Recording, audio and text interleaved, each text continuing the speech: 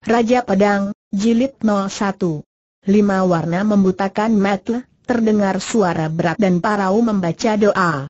Lima warna membutakan mata menyusul suara nyaring tinggi, suara kanak-kanak yang berusaha keras menirukan nada suara pertama. Lima bunyi menulikan telinga suara parau itu terdengar lagi. Lima bunyi menulikan telinga kembali suara anak kecil tadi mengulang kata-kata itu.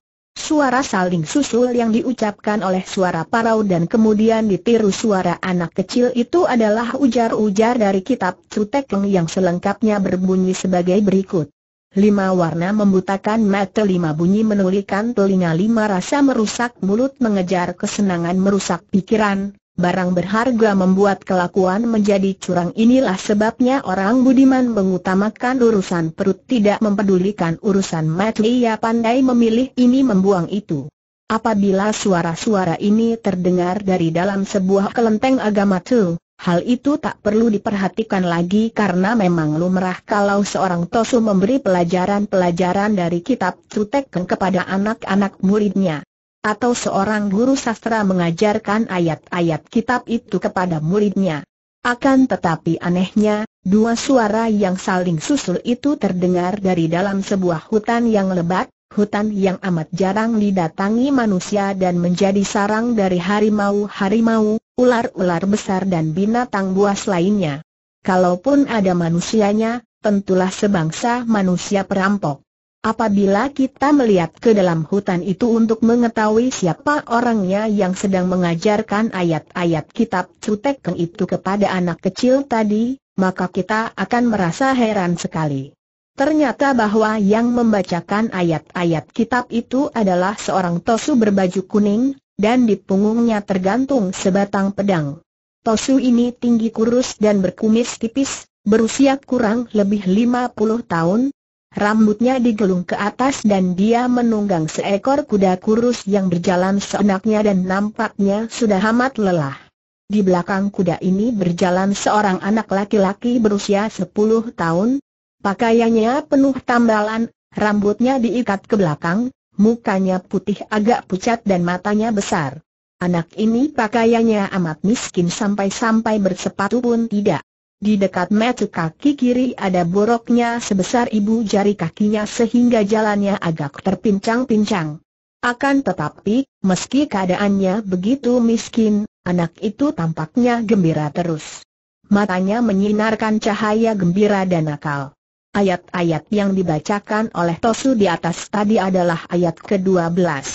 Kalau dihitung Tosu itu membaca dari ayat pertama dengan suara keras, tetapi lambat-lambat, sudah lama jugalah anak itu menirunya. Pada ayat 12 di mana terdapat kata-kata tentang orang budiman mengutamakan urusan perut, sesudah selesai menirukan ayat ini sampai habis, anak laki-laki itu segera berkata. Suaranya lantang, nyaring dan tinggi. Totiang, benar sekali pikiran orang budiman itu. Aku pun mau menjadi orang budiman, mengutamakan urusan perutku yang sudah amat lapar ini maka harap Toti yang lekas-lekas memberi roti kering atau uang, aku tidak mau pedulikan urusan lain lagi. Sambil berkata demikian, anak itu tidak lagi berjalan di belakang kuda, melainkan berlari mendampingi sambil menarik-narik kaki kanan Tosu itu. Akan tetapi Tosu itu seperti tidak melihat bocah tadi, juga seperti tidak merasa kakinya dibetot-betot. Ia membuka mulutnya lagi dan berteriak dengan suara keras. Ayat ke-13 berbunyi. Aku tidak peduli apa bunyi ayat ke-13 atau ketiga ribu anak itu berteriak. Perutku lapar dan Toti yang sudah berjanji akan memberi roti kering dan uang kepadaku. Tosu itu nampak tertegun, seakan-akan baru sekarang ia tahu bahwa suara yang tadinya menirunya sekarang telah mengeluarkan suara lain. Ia menunda membaca kitabnya dan memandang kepada anak itu dengan mata bersinar-sinar. Tadi ia bertemu dengan anak itu di luar sebuah kampung dekat hutan ini. Pada waktu itu ia sedang beristirahat dan makan roti kering. Kemudian anak yang dikenalnya ini datang mendekat, nampaknya ingin sekali roti itu akan tetapi tidak mengeluarkan suara. Kau mau roti kering? Anak itu hanya mengangguk. Hei hei hei, Roti keringku ini sudah habis di warung sana ia bertanya lagi. Kembali anak itu mengganggu. Tosu itu menjadi gemas juga. Gagukah engkau? Tidak, Totiang, hanya sedang malas bicara. Jawaban ini membuat si Tosu menjadi terheran-heran. Baru sekali ini ia bertemu dengan seorang anak kecil yang bicara seenaknya sendiri saja seperti ini. Engkau mau roti kering dan uang kembali ia bertanya sambil kembali menunggangi kudanya yang kurus. Anak laki-laki itu kembali mengangguk. Baik, akan tetapi kau harus menirukan membaca isi kitab Cutekan sambil berjalan di belakang kudaku. Demikianlah, Tosu itu mulai membaca kitab itu dari ayat pertama sampai ayat ke-12. Tadinya anak ini tertarik sekali karena anak ini sebetulnya adalah seorang anak luar biasa yang pernah membaca kitab-kitab kuno bahkan hampir hafal banyak kitab dari agama Buddha, yaitu pada waktu ia bekerja sebagai pelayan dari kelenteng Hok Tianto. Akan tetapi setelah mendengar mengenai mengutamakan perut, maka anak itu teringat akan perutnya yang lapar dan menagih janji. Siapakah anak yang bersikap paneh dan dalam keadaan terlantar itu? Namanya Beng San, demikian menurut pengakuannya sendiri. Mengenai siapa nama keturunannya, ia sendiri tidak tahu. Anak ini adalah korban bencana alam, yaitu banjir besar sungai Wong Ho yang sudah menghabiskan seluruh isi kampungnya. Hampir seluruh isi kampung habis oleh banjir itu, rumah-rumah lenyap, sawah-sawah rusak, bahkan manusia dan binatang hampir tewas dan hanyut semua. Anak ini pun ikut hanyut, akan tetapi agaknya Tuhan masih melindunginya maka ia dapat tersangkut pada reruntuhan rumah dan terbawa ke pinggir dalam keadaan pingsan. Hal ini terjadi ketika ia berusia 5-6 tahun. Pada saat siuman kembali, anak ini sudah berada di pinggir sebuah hutan di tepi sungai Wongho.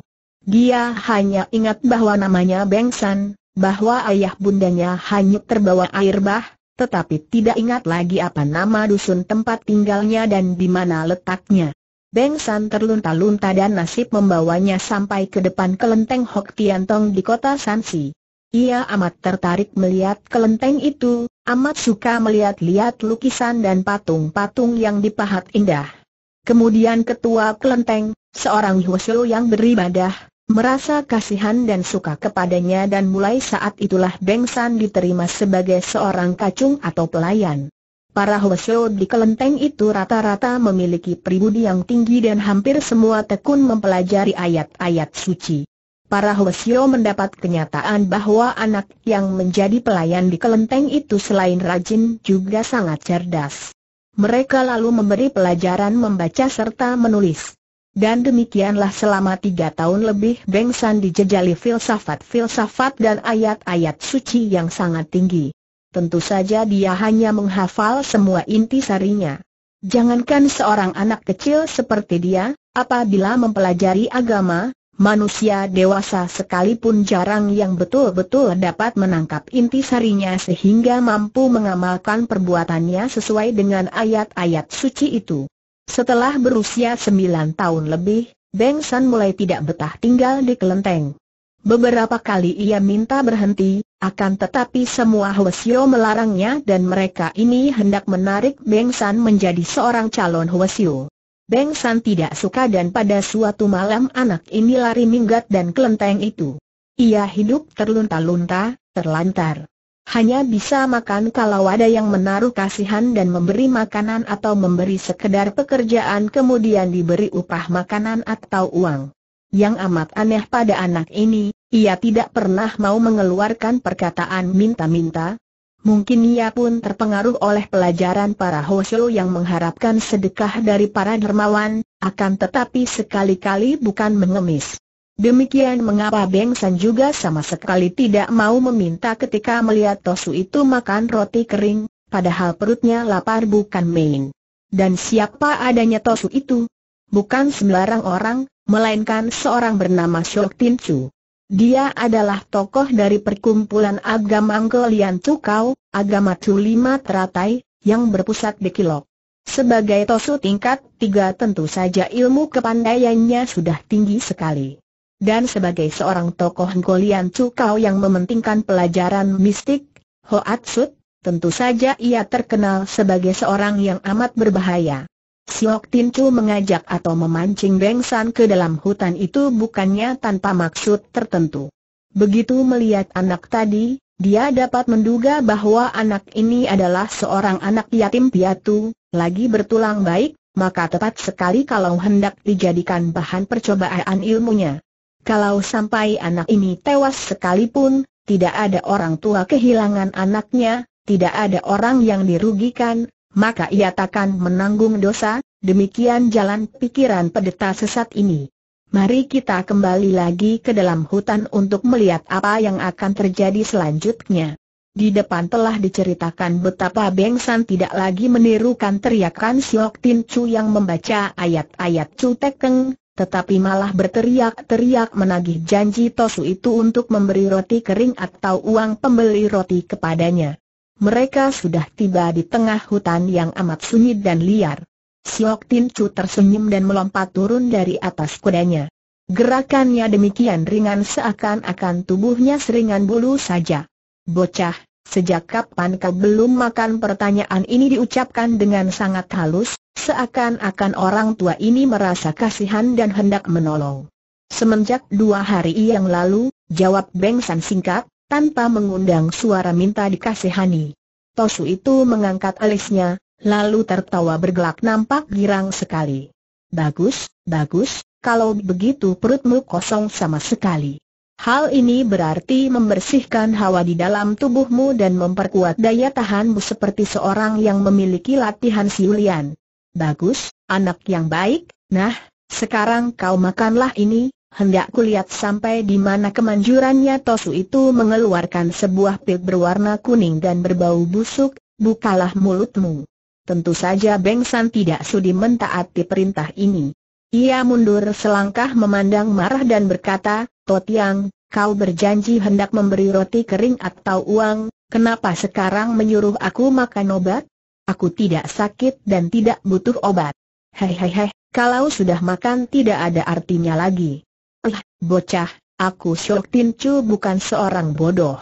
Ketahuilah, pil ini adalah buatanku sendiri atas petunjuk Kau Chu, ketua agama. Belasan tahun ku buat dari sari segala kebusukan yang mengandung hawa tayang dan khasiatnya hebat bukan main. Aku telah membuatnya tiga buah akan tetapi sampai sekarang tidak berani menelannya. Harus lebih dulu ku cobakan pada orang lain, dan kau dengan perut kosongmu baik sekali untuk dijadikan kelinci percobaan. Kalau kau mati, tidak ada orang yang kehilangan, kalau kau hidup, nah, barulah akan ku beri hadiah roti kering atau uang, hei. Sepasang mata anak itu yang lebar menjadi makin lebar, bukan karena takut melainkan karena marahnya. Tosu bau apa kau lupa akan ujar-ujar suci bahwa, siapa yang belum membersihkan diri dari perbuatan jahat, serta siapa yang tidak mempedulikan kebajikan dan kebenaran, dia itu tidak patut memakai pakaian kuning? Siok Tin Chu mula-mula terkejut dan heran karena ujar-ujar ini adalah kata-kata suci dalam agama Buddha, dalam kitab Dhammapada, akan tetapi ia segera tertawa. Mau tidak mau kau harus menelan obat ini. Tidak sudi. Kau Tosu Bau Bengsan mengambil dua buah batu kecil dari atas tanah dan menimpukan dua buah batu itu kepada Siok Tin Chu. Akan tetapi Siok Tin Chu hanya tertawa dan sekali ia menggerakkan tangan kiri, ujung lengan bajunya meniup pergi dua buah batu itu, membuat Beng San tak dapat bergerak lagi. Yang mati ini adalah kedua pasang kaki tangan anak itu, akan tetapi dari leher ke atas masih hidup. Anak itu masih dapat menggerakkan leher dan semua anggota muka. Tosu jahat, Tosu bau, kau mau apakan aku teriakannya berkali-kali. Tidak apa-apa, hanya ingin kau menelan obat ini.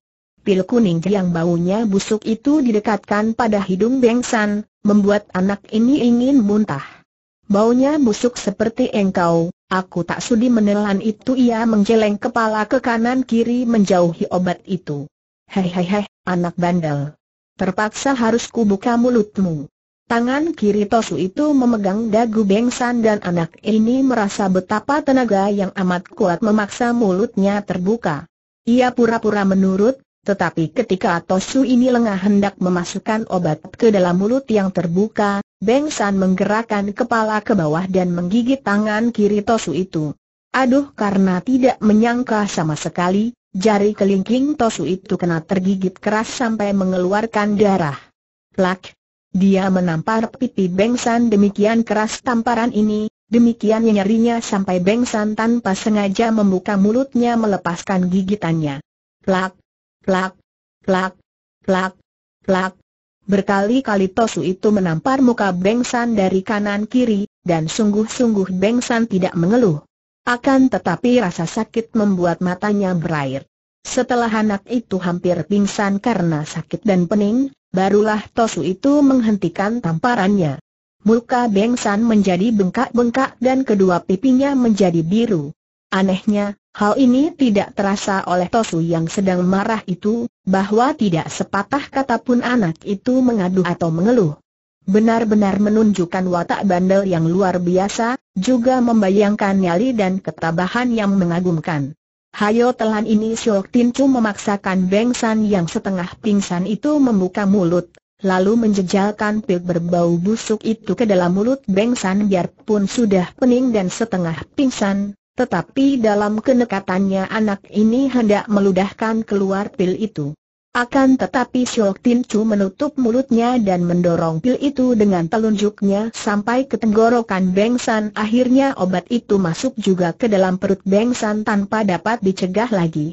Hihihi, hendak kulihat akibatnya, Siok Tin Chu menggerakkan tangan membebaskan totokannya. Beng San roboh terduduk di atas tanah. Dia menundukkan muka karena merasa masih pening dan nanar kepalanya. Ia meramkan matanya yang menjadi sempit karena pipinya telah membengkak besar di kanan kiri. Kasihan sekali anak ini, mukanya sampai menjadi seperti buah labu matang. Tiba-tiba saja Bengsan menggerak-gerakan kaki tangannya, kulit badannya makin lama nampak makin merah sampai bagai udang rebus. Makin merah kulitnya makin tak karuan pula tingkahnya, berkelojotan seperti ular disiram air panas. Panas, panas. Akhirnya tak tertahankan juga. Namun mulutnya yang tidak pernah mengeluh itu hanya bilang panas, panas, berkali-kali. Kulit badannya menjadi merah tua hampir hitam dan dari tubuhnya tampak uap tipis seakan-akan seluruh air di tubuhnya sudah mendidih.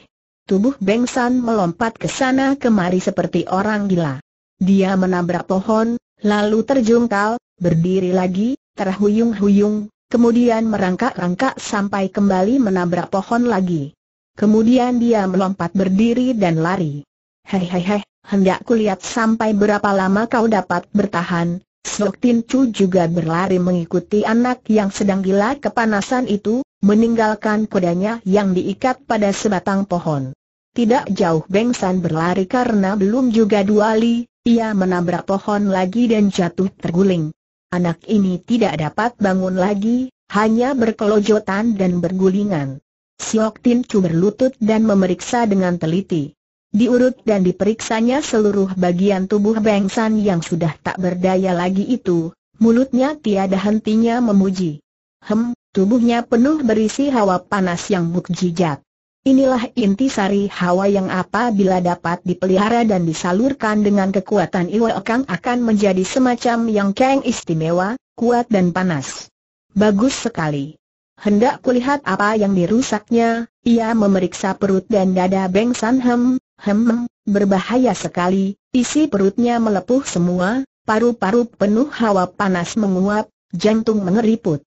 Kalau anak ini tidak kosong perutnya, tidak penuh hawa murni tubuhnya dan tidak bersih tulang-tulangnya, dia sudah akan mampus sejak tadi. Dengan iwa kang di tubuhku, apakah aku akan dapat menahan hawa panas seperti ini? Hem, berbahaya sekali. Saking asyiknya memeriksa, Tosu ini sampai tidak tahu dan tidak merasa bahwa kantong obatnya terlepas dan terjatuh. Ketika tubuh Bengsan bergerak-gerak, tanpa disengaja kantong obat itu tertindih oleh tubuh anak itu dan tidak kelihatan dari atas. Hem, berbahaya sekali akibatnya. Apa kiranya aku akan kuat? Tosu itu berdiri dan termenung. Ia ngeri akan akibatnya kalau sampai dirinya kemasukan obat kuat itu tetapi akhirnya tubuhnya tidak dapat menahan. Tanpa terasa digerayangnya pinggangnya dan ia kaget sekali karena tidak mendapatkan kantong obat di situ. Bingung ia mencari, tetapi sia-sia saja. Ia lalu mengingat-ingat. Tidak salah lagi, tadi ia mengambil sebuah pil dari kantong obat yang segera diikatkan kembali ke pinggangnya. Jangan-jangan ketinggalan di atas pelana kuda, pikirnya. Cepat dia berlari meninggalkan Bengsan dia berlari kembali ke tempat di mana dia tadi meninggalkan kudanya. Di sini dia mencari-cari ke sana kemari, membuka-buka rumput dan alang-alang di sekitarnya, membongkar semua bekal dari atas selak kuda. Sementara itu, Bengsan masih juga berkelojotan. Panas, lapar, panas, lapar, katanya tangannya menggerayang-gerayang. Ia mencoba membuka matanya, akan tetapi begitu dibuka, air matanya bercucuran saking panas dan perihnya. Tiba-tiba tangannya yang menggerayang itu berhasil menangkap sebuah kantong kecil. Kedua tangannya lalu menarik, dan sekali tarik saja kantong itu hancur dan dua butir pil sudah dipegangnya. Karena pikiran Beng San sudah hampir tidak dapat dipergunakan lagi saking hebatnya penderitaannya, dua butir pil itu segera dia masukkan ke mulutnya terus ditelan habis. Pada saat itu, terdengar orang bernyanyi-nyanyi kecil, nyanyian kanak-kanak. Ketika tiba di tempat itu, ternyata bahwa yang bernyanyi adalah seorang lelaki bertubuh tinggi besar, tetapi mukanya yang hitam itu sama sekali tidak berkumis atau berjenggot, licin seperti muka kanak-kanak. Matanya juga bersinar bodoh dan jujur seperti mata kanak-kanak pula, biarpun usianya telah 40 tahun. Yang lucu adalah pakaiannya, berkembang-kembang dan malah sepatunya juga sepatu berkembang seperti yang biasa dipakai wanita. Pendeknya, dia adalah seorang aneh yang mempunyai sifat kanak-kanak, berpakaian seperti perempuan dan pantasnya hanya orang edan saja yang berkeadaan seperti dia ini. Ia berhenti menyanyi dan berdiri memandang Bengsan yang masih bergulingan. Setelah Bengsan menelan pil yang dua butir itu, dia seperti cacing terkena abu panas. Berguling ke sana, menggelundung ke sini, berkelojotan dan mulutnya berbusa. Hahaha ho ho ho, kau main menjadi terenggiling? Orang yang baru datang itu dengan muka girang lalu turut terbah pula dan bergulingan, berkelojotan seperti bengsan sambil tertawa-tawa senang sekali. Hayo kita balapan, siapa lebih cepat menggelinding katanya mengajak bengsan main balapan. Tentu saja bengsan yang tidak sadar itu semua sekali tidak memperdulikan. Eh haha, kau tidak mau balapan. Kurang ajar kau, diajak bicara diam saja. Orang itu melompat bangun dan mendekati Beng San. Ia melihat kedua mata Beng San yang sipit karena mukanya berbusa. Eh haha, eh haha, eh haha, setan, kau malah mengejek orang itu marah-marah, mengira bahwa Beng San yang tengah sekarat itu mengejeknya. Ku tendang kau. Orang tua itu menendang perlahan. Tanpa disengaja ia menendang jalan darah Titai Chu di punggung Beng San bocah yang sedang menderita ini, yang tubuhnya seakan-akan hendak meletus karena penuh dengan hawa yang seakan-akan terbuka jalan darahnya akibat terkena tendangan itu. Mendadak saja ia melompat ke atas, tinggi sekali dan tanpa disadarinya pula tangan kanannya menampar kepala orang itu. Plak sehabis menampar ia bergulingan pula. Yang hebat adalah orang aneh yang kena ditampar itu. Tubuhnya terlempar dan roboh berguling-guling sambil mengadu-ngadu. Ternyata orang itu lihai bukan main.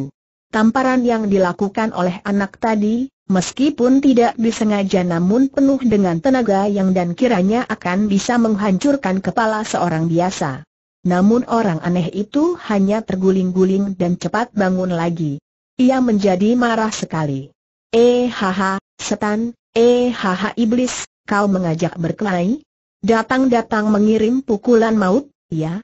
Berani kau main-main dengan kelai atau cepat seperti orang bermain sulap, tahu-tahu di tangan kanan orang ini sudah terdapat sebuah panah berwarna hijau. Ia lalu maju menubruk Bengsan yang sedang bergulingan, tangan kanan menggunakan anak panah tadi untuk menusuk, sedangkan tangan kirinya memukul dengan telapak tangan terbuka. Dengan tepat sekali tangan kiri Klai Atong memukul dada Bengsan, sedangkan ujung anak panah itu menancap di pundaknya. Melihat lawannya sama sekali tidak mengelak atau menangkis, Kuai Atong kaget sekali dan dia cepat menarik kembali anak panahnya. Hebat! Bengsan yang terkena pukulan dan terluka oleh anak panah, seketika berhenti bergerak, hanya dari mulutnya terdengar bunyi mendesis seperti seekor ular mengamuk. Mukanya yang tadi merah menghitam perlahan-lahan berubah menjadi hijau, juga seluruh tubuhnya berubah menjadi kehijauan. Desis pada mulutnya tak berlangsung lama, segera terhenti seperti bola kempis kehabisan angin. Mati, celaka, aku membunuh orang yang tak melawan dengan pukulan Jing Tok Chiang, tangan racun hijau. Sesudah berkata demikian, orang aneh itu cepat berlari meninggalkan tempat itu. Larinya bukan main cepatnya, seperti terbang saja. Orang aneh yang bernama Klai Atong ini sesungguhnya bukan orang biasa. Biarpun dia seperti kanak-kanak dan pakaiannya seperti orang gila, tetapi justru karena keanehannya itu maka ia disebut Klai Atong, anak Stan. Dia ini adalah murid tunggal dari Bantok Sim, hati selaksa racun, Giam Kong, seorang Hwasyo dari barat yang berasal dari Tibet. Nama besar Giam Kong ini terkenal di seluruh dunia Kang Ou sebagai seorang tokoh yang sangat ditakuti orang.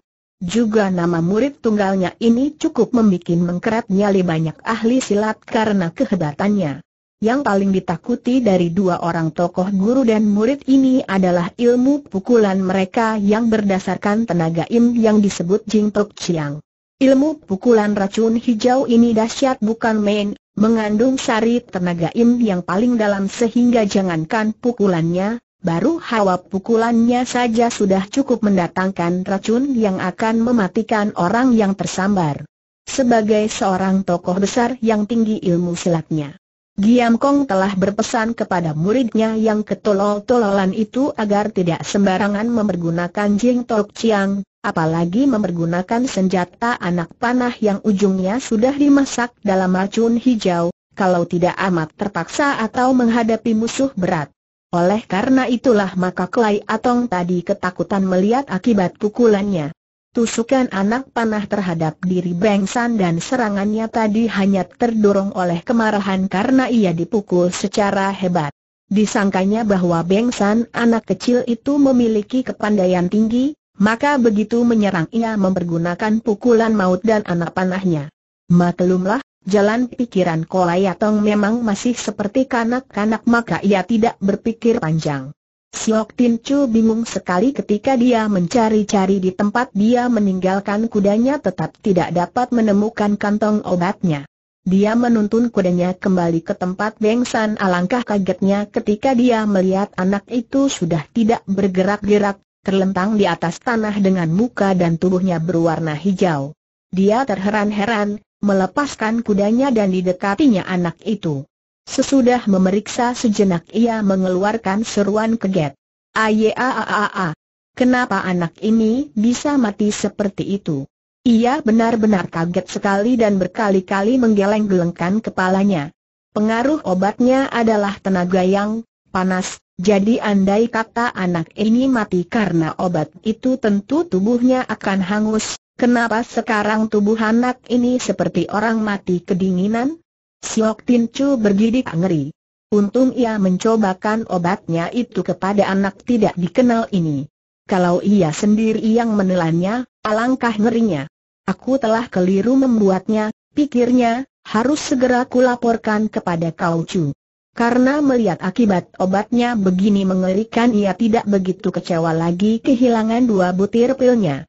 Kalau yang sebuah begini berbahaya, dua yang lain juga tidak akan ada gunanya dipusingkan. Biarlah kalau ditemukan orang lain dan ditelan, paling-paling orang yang menelannya akan mati seperti bocah ini. Agak ngeri oleh akibat perbuatannya sendiri, Tergesa-gesa Tosu itu menaiki kudanya dan membalapkan kuda kurus itu pergi dari situ, pergi meninggalkan tubuh Bengsan yang menggeletak di tengah hutan begitu saja. Hang Ji, kau hati-hatilah. Hutan itu lebat, mungkin banyak harimaunya. Jawabannya hanya suara ketawa nyaring seorang anak perempuan berusia delapan atau sembilan tahun yang amat lincah berlari-lari cepat memasuki hutan lebat. Yang menegur juga tersenyum, senyum kecil yang untuk sejenak menerangi wajahnya yang muram. Dia seorang laki-laki yang berusia kurang lebih empat puluh tahun, berwajah tampan dan gagah, tetapi wajahnya suram, tidak ada cahaya kegembiraan hidup. Wajah tampan ini menjadi gelap dan muram semenjak dia ditinggal mati istrinya yang tercinta tiga tahun yang lalu, meninggalkan dia hidup berdua saja dengan anak tunggalnya yang bernama Hong. Kuatin Siong adalah seorang jago pedang murid tertua dari Hoasan Chiang Bunjin, ketua Hoasan Pai, Lian Bu Tojin. Namanya di dunia Kang Ou cukup terkenal sebagai seorang paling tua dari Hoasan Sieng, empat pendekar Hoasan tidak hanya terkenal karena memang empat orang pendekar Hoasan ini berkepandaian tinggi, namun lebih terkenal karena perbuatan mereka yang selalu menjunjung tinggi keadilan dan kegagahan. Mereka terkenal sebagai pelindung rakyat dari penjahat-penjahat keji. Lian Bu Tojin, Tosu Ketua Hoasan Pai sudah berusia 60 tahun lebih. Tosu ini biarpun memiliki banyak anak murid, namun kepandaian istimewanya, yakin pedang Hoasan Kiam Hoat, hanya diturunkan seluruhnya kepada empat orang muridnya yang terkenal sebagai Hoasan Sieng ini. Yang tertua adalah Kuatin Siong bergelar Hoasanit Kiam, pedang tunggal Hoasan. Orang kedua adalah Tiowanit berjuluk Bueng Kiam, pedang tanpa bayangan. Orang ketiga bernama Kui Keng berjuluk Toat Beng Kiam, pedang pencabut nyawa, sedangkan orang keempat adalah seorang gadis berusia 20 tahun bernama Liam Sian Hwa dengan julukan Kiameng Chu, bayangan pedang. Kuatin Siong sudah berusia 40 tahun dan sudah menjadi duda. Dua orang sutainya, yaitu Tio Wanit berusia 35, sedangkan Kui Keng berusia 30 tahun, keduanya sudah berkeluarga pula. Hanya orang keempat dari Hoasan Sieng, yaitu Lim Sian Hwa yang belum berkeluarga. Ia masih gadis berusia 20 tahun, akan tetapi telah menjadi tunangan Kue Esin, orang termuda dari tiga pendekar Kunlun. Kuatin Xiong amat dihormati dan disegani adik-adik seperguruannya karena mempunyai pandangan yang luas serta sikapnya yang serius. Ia gagah, jujur, dan menjadi pengikut ajaran filsafat Hong Chu yang setia. Anak perempuannya, Kua Hong, merupakan matahari hidupnya. Hanya anak inilah yang kadang-kadang dapat memancing senyum di wajahnya yang selalu muram dan sungguh-sungguh. Kuatin Siong terpaksa mengeprek kudanya untuk berjalan lebih cepat memasuki hutan lebat itu. Tadinya Kua Hang membonceng di depannya, tetapi anak itu tiap kali merasa bosan naik kuda, pasti meloncat turun dan berlari-larian cepat. Kuatin Siong tidak merasa khawatir akan diri anaknya karena sungguh pun baru berusia 8-9 tahun, Kua Hang telah memiliki kepandaian silat yang lumayan. Sejak anak itu bisa berjalan, dia sudah mendidiknya sehingga sekarang Kua Hang mempunyai gerakan yang cepat dan lincah, juga memiliki ilmu bela diri yang cukup kuat. Hang Ji, anak Hang, jangan terlalu cepat, kau nanti sesat jalan. Kembali anaknya berkelebat memasuki bagian yang gelap dari hutan besar itu. Kuatin Siong memajukan kudanya dan tiba-tiba kuda itu mengeluarkan bunyi ringkik keras, lalu berdiri di atas kedua kaki belakangnya dan hidungnya mendesis-desis, nampak ketakutan sekali. Kuatin Siong berlaku waspada, maklum bahwa ada binatang buas di tempat itu. Karena sukar untuk menenangkan kudanya, ia cepat meloncat turun dan mengikatkan kendali kuda pada sebatang pohon. Tiba-tiba kudanya meronta keras, kendalinya putus dan kudanya lari tunggang langgang.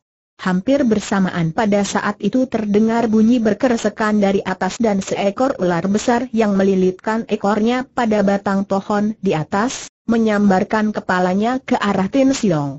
Tak percuma kuat Tin Siong menjadi orang tertua dari Hoasan Sieng. Biarpun matanya belum melihat, telinganya telah dapat menangkap sambaran angin dari atas. Cepat sekali kakinya bergerak dan dia pun sudah mengelak sambil mencabut pedangnya. Di lain saat pedangnya sudah berkelebat membacok ke atas. ular itu terluka oleh pedang, darahnya menetes. Ular itu kesakitan dan marah, cepat dia menyambar lagi bagaikan menubruk ke arah calon mangsanya. Tin Siong terkesiap kagum menyaksikan ular itu yang besar sekali dengan sisiknya yang nampak kuning kehijauan berkembang indah.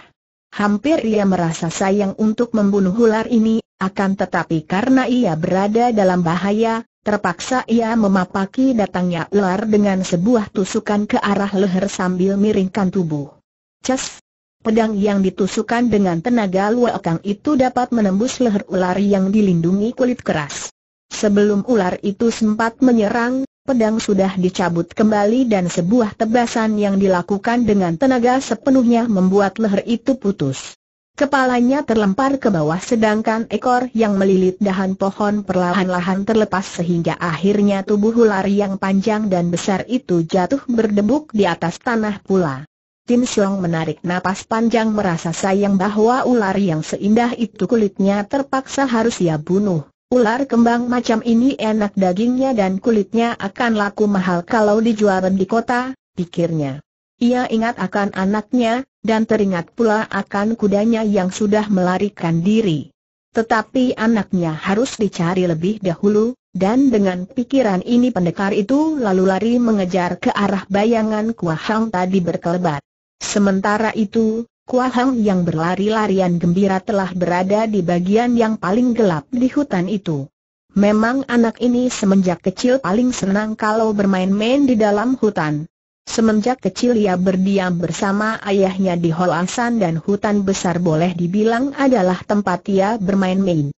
Akhir-akhir ini ketika ayahnya mengajak ia turun gunung, ia sering kali rindu kepada hutan-hutan besar, rindu kepada binatang-binatang hutan yang amat disayanginya. Maka sekarang melihat hutan, tentu saja ia bagaikan seekor burung, gembira sekali hatinya. Saking gembiranya ia sampai lupa diri dan lupa pula bahwa ia sudah jauh meninggalkan ayahnya dan baru terasa lelah kedua kakinya ketika dia duduk di bawah sebatang pohon besar.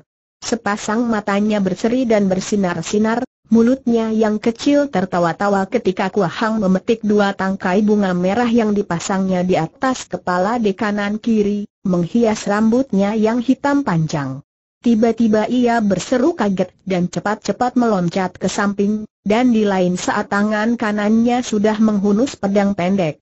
Inilah gerakan Sin Choa Hiat BWE, ular sakti mengulur ekornya, sebuah gerakan ilmu pedang sebagai pembukaan kalau menghadapi lawan berat.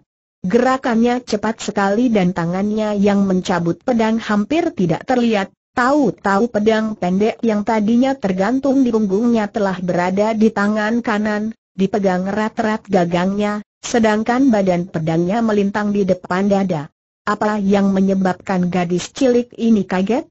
Mukanya pucat dan ia berdiri seperti patung, lenyap semua seri gembira pada wajahnya.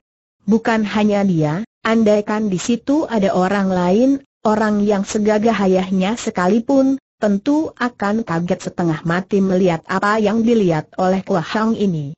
Semuanya ini bukan di dunia mimpi, memang nyata-nyata terlihat olehnya hal itu terjadi. Mula-mula ia tadi berseru kaget karena melihat ada seekor ular besar di bawah pohon, kurang lebih 20 meter jauhnya di sebelah sana. Dan sekarang, tahu-tahu ular itu bangun berdiri dan berloncat-loncatan menghampirinya. Hampir saja Kuahang lari tunggang langgang saking takut dan ngerinya kalau saja ia tidak mendengar suara orang tertawa. Akan tetapi saat ia mendengar bahwa yang tertawa adalah ular berdiri itu, kemudian timbul jiwa ksatria yang diturunkan ayahnya kepadanya. Dengan pedang dipegang erat-erat di tangan ia membentak. Siluman dari mana berani menggangguku? Hahaha, lagatnya.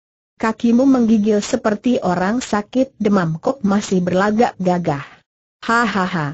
Ternyata ular itu setelah dekat tidak berkepala lagi dan, dari leher ular itu tersembulah kepala seorang anak laki-laki, anak yang bermata lebar dan mukanya putih kehijauan. Anak ini bukan lain adalah Bengsan seperti telah kita ketahui Bengsan menggeletak di bawah pohon dalam keadaan yang dianggap sudah tak bernyawa lagi oleh Shok Tin Chu. Memang waktu itu anak ini sudah seperti mati. mukanya hijau kebiruan, tidak ada napasnya lagi dan bahkan tak ada detak jantungnya lagi. Akan tetapi, ternyata Shok Tin Chu salah kira. Terjadi hal-hal yang mukjizat dalam diri anak yang bernasib malang ini, atau lebih tepat bila kita katakan bukan bernasib malang, sebab secara kebetulan sekali ia terhindar dari malapetaka yang akan mencabut nyawanya akibat dari ditelannya tiga butir pil obat beracun dari Shok Tin Chu, tiga butir pil beracun yang mengandung hawa panas yang mukjizat, sari daripada hawa tayang. Pada waktu Beng San ditemukan oleh Kuai Atong, memang nyawanya sudah diambang kematian. Kemudian secara kebetulan sekali Kuai Atong yang berotak tidak beres itu telah memukulnya dengan tenaga Jing Tok Chiang, malah melukainya dengan anak panah yang ujungnya sudah dilumuri racun hijau. Hawa pukulan dan racun ini cepat sekali menjalar di seluruh tubuh melalui jalan darahnya. Terjadilah perang tanding yang hebat antara Hawa Tai yang dari tiga butir pil itu dengan tenaga Im Kang dari pukulan Jing Tok Chiang dan racun hijau. Dalam keadaan kedua hawa yang bertentangan sedang bergulat itulah Shok Tin Chu melihat Beng San bagaikan sudah mati. Memang agaknya sudah dikehendaki Tuhan bahwa nyawa anak itu belum tiba saatnya kembali ke alam baka. Semalam suntuk dua hawa mukjizat itu bertempur dalam tubuhnya dan seperti biasanya apabila racun bertemu dengan racun yang berlawanan, maka kedua racun itu menjadi saling memunahkan. Bahkan sebaliknya, bukannya terancam nyawanya, tanpa disadari di bagian dalam tubuh Beng San mengandung kedua hawa ini yang sudah dibikin normal oleh percampuran itu. Dan campuran dua hawa ini mendatangkan kekuatan yang luar biasa. Demikianlah, pada keesokan harinya Beng San sadar, seakan-akan ia baru bangun dari kematian. Ia merasa tubuhnya dingin bukan main sampai giginya berketerukan. Ia teringat akan pengalamannya, ketika ia dijejali pil oleh Tosu yang mengaku bernama Shok Tin Chu. Teringat akan ini ia menjadi marah dan meloncat bangun. Alangkah kagetnya dia, ketika tubuhnya mumbul sampai satu meter lebih. Rasanya tubuhnya begitu ringan seperti bulu ayam. Akan tetapi hal ini tidak diperhatikannya lagi karena segera ia terserang rasa dingin yang bukan main hebatnya. Ia teringat bahwa ketika habis dijejali pil oleh Tosu itu ia merasa tubuhnya seperti dibakar, kenapa sekarang sebaliknya begini dingin? Beng San menggigil dan lari ke sana kemari mencari tempat berlindung. Disangkanya bahwa hawa udara di hutan itu yang luar biasa dinginnya. Kebetulan sekali ia melihat kulit ular atau selongsong kulit ular bergantungan di sebuah pohon besar. Tadinya ia kaget, mengira bahwa itu adalah binatang ular. Tetapi sesudah Dame lihat bahwa itu hanya selongsong saja, ia segera memanjat pohon dan mengambil selongsong itu. Kiranya ada seekor ular besar sekali yang telah berganti kulit di situ dan selongsongnya yang kering tergantung di situ. Beng San seorang anak cerdik. Ia membutuhkan selimut dan selongsong kulit ular ini kiranya boleh juga dipergunakan sebagai selimut darurat. Segera ia membungkus dirinya dengan selongsong kulit ular yang panjang dan lebar itu. Dan benar saja, dia lalu merasa badannya menjadi hangat dan perasaan ini demikian nyamannya membuat ia melupakan perut laparnya dan tertidur lagi terbungkus kulit ular. Tentu saja ia tidak tahu bahwa kehangatan yang datang padanya itu adalah wajar saja. Pertama, karena hawa pukulan Jing Tok Chiang itu mulai menghilang, bercampur dengan hawa tayang. Kedua kalinya, secara kebetulan sekali pada kulit ular itu masih terdapat sisa hawa beracun dari ular yang berganti kulit, dan hawa beracun ini mengandung hawa panas pula. Itulah sebabnya mengapa Beng San bukan saja terhindar dari bahaya maut, sebaliknya ia bahkan mendapat keuntungan yang luar biasa, yaitu tubuhnya terkandung hawa mukjizat akibat percampuran hawa yang dan im yang kuat sekali, yang menyebabkan tubuhnya kadang-kadang terasa panas, tetapi kadang-kala dingin sekali. Itulah satu-satunya hal yang sampai saat itu masih sering kali bergantian menyerangnya, namun hal itu sudah tidak begitu mengganggunya lagi karena tubuhnya menjadi biasa dan seperti kebal. Hanya kulitnya yang masih belum dapat menahan sehingga tiap kali hawa panas menyerang, kulit tubuh, Terutama kulit mukanya berubah menjadi merah bagaikan udang direbus, tetapi setiap kali hawa dingin yang menyerang, mukanya berubah menjadi hijau. Merah, hijau, merah, hijau. Hem, untung dia tidak berdiri di perempatan.